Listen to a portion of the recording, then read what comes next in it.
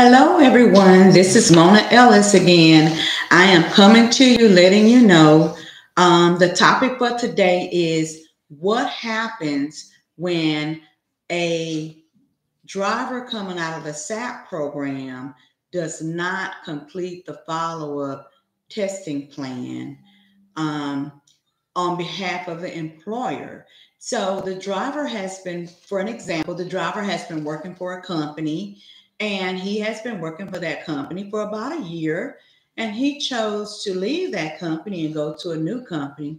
Well, the new company or the prospective employer is going to be asking the former employer for the SAP paperwork, the return to duty drug test, and all of the return to duty, I mean, I'm sorry, all of the follow up tests that was completed according to um, the SAP um, recommendations for follow up testing and the testing plan schedule that was provided by the SAP.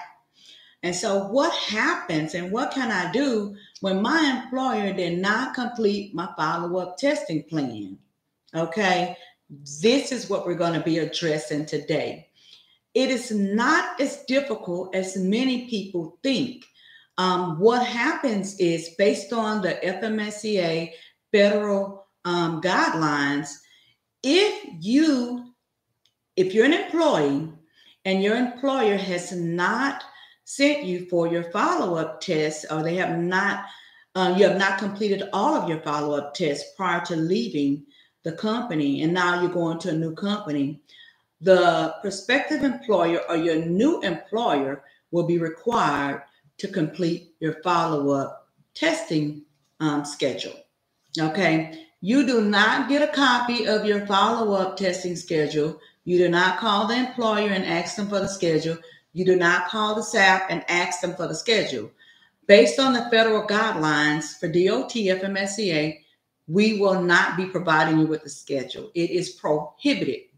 And so the only people that can get that schedule is a third party administrator or a consortium, um, the DER, okay, which is the designated employee representative for the company. Um, that's the only people that the SAP is going to give that schedule to. It will never, ever be an employee. That is um, violating the DOT federal regulations. And so, um, but what happens is that they will resume the testing schedule when they hire you on board. Many employers will look into the clearinghouse and they will see that step six, which is the follow up testing plan, has not been completed. It's important for you to know that each of your follow up tests will not be entered into the clearinghouse. What will be entered into the clearinghouse is the employer will complete all those follow up tests based on the SAP's um, recommendation for follow up testing within the dates. I mean, not the dates, they set the dates, but we set the timeline. So within the timeline, they're going to complete those um, follow up tests. They're going to keep them all on file.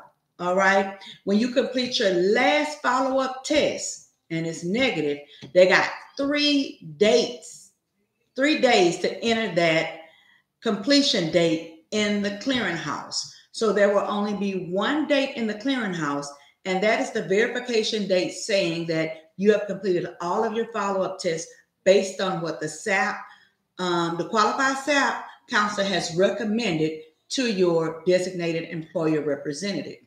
And so when you move around to a new employer, those dates will not be in there.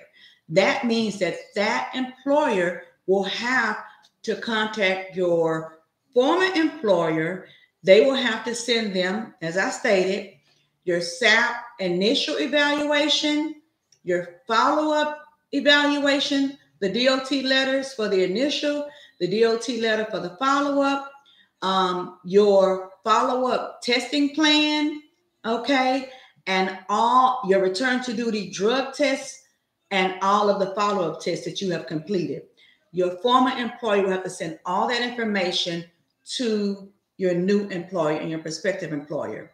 And they will pick up on those dates and begin and resume sending you for your follow up test based on the qualified SAP testing plan recommendations. It's really confusing, but everything has to be followed based on what the qualified SAP has put in that follow up testing plan. And it will not be entered until you have completed your last follow up test based on the timeline that the SAP has provided your employer, which is your designated employer representative, with. All right. If you have any questions or comments, go ahead and put it in down there in the comment section. I will respond as quickly as I can. Thank you for tuning in and watching my live video.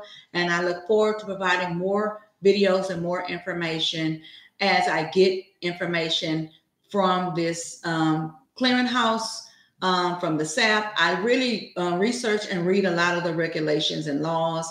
This information is also public information. If you want more information about this, you can visit my website, www.monamentors.us, www.monamentors.us. Look in the left-hand column and you'll see um, uh, FMSCA, CDL driver's resources, FMSCA, DOT news and updates. That information, it's a lot of information listed there that you can read and research, and also some brochures and stuff that you can have access to as it relates to the clearinghouse and uh, return to duty um, program, SAP um, guidelines, recommendations, and your follow up testing plan.